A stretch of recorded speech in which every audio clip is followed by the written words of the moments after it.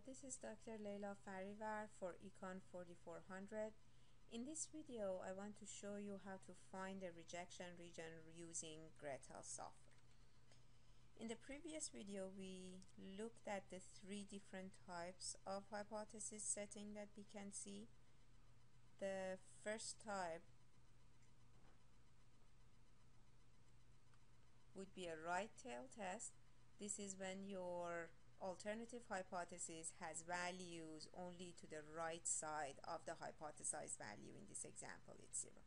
The rejection region in this case is in the right tail and to the right of a point we call critical value which is the border point of the significance level area under the t-distribution. So if our significance level is uh, equal to 5% then uh, this shaded area on the picture would be called 5% and the border point is where I have this small arrow and we get this from GRETL software. For a left tail test, the rejection region would be in the left tail, the red area shows the significance level or the probability of type 1 error for this test and uh, the border point here that's the critical value we will get it from the GRETL software. For a two-tail test as we saw the rejection region is in both of the tails of the t-distribution to the right of the critical value which is positive and to the left of the negative critical value and the probability of type 1 error if it's 5% if our significance level is 5% then it will be divided in both tails.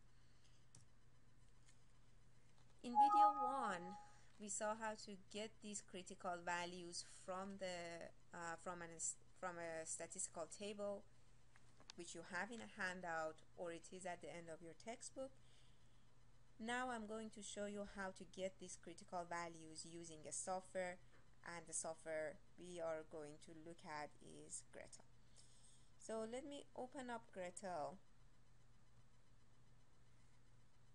You can find these tables even without uh, importing the data into GRETL. So with an empty GRETL, you should still be able to use the statistical tables. We go to Tools, the second pull-down menu here. And the first option would be statistical tables. We click on. We click on statistical tables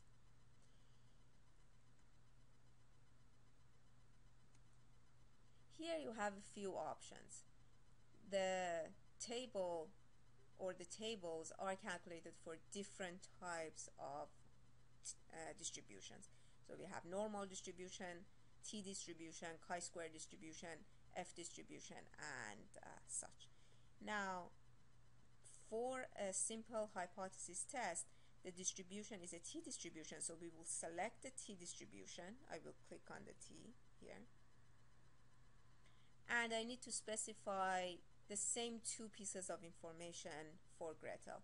First of all, what is the degree of freedom, which is n minus k minus 1, and GRETL wants us to give it the right tail probability. So let me keep the example as we had. The degree of freedom was 13, n minus k minus 1 was 13. So just type in 13. The right tail probability let's start with uh, the first hypothesis test and uh, the significance level of the test was 5%. All of, all of that 5% area would be in the right tail if we are doing a, if we are considering a right tail test. So I will put 0.05 here. If I hit OK, I'll see the results here. First row is telling me it's a t distribution. In the parentheses, you see the degrees of freedom, so t13. The right tail probability that uh, GRETL used was the 5%, so here is just repeat of the information we fed into GRETL. Complementary probability, that's the probability of the other side, that's 95%. The two-tail probability, that would be 1, so we ignore this part. The critical value is 1.7709 if you remember from the first video, if you look at uh, the t-distribution table, you get 1.771. So those numbers are rounded up to 3. Here we get our number with more precision. So 1.77093, that's the critical value for a one-sided test in the right tail. Now let's say we want the left tail. Let me close the window. The information for a left tail test with the same sample, so that degree of freedom is the same, is exactly the same thing but uh, we just consider the negative sign. So the degree of freedom is 13. The right tail probability would be still 0.05, but now we need the left tail part of it, so we need the mirror image of it. So I will not touch this information here. Obviously, I get the same results in my result window. Now, critical value is 1.77093. I know that I should consider the negative value of this because the rejection region would be on the left tail if I'm doing a left tail test. So for a right tail and left tail, the information that you give and the information that you receive is exactly the same. We just need to be cautious that for a left tail test, the rejection region is in the left tail. Therefore, it would be the t's that are smaller than the negative critical value that we get from GRETL. Now, for a two-sided test, the information would be slightly different. If it's a two-sided test, degree of freedom is still 13. But the right tail probability now would be half this much. Would be 0.025.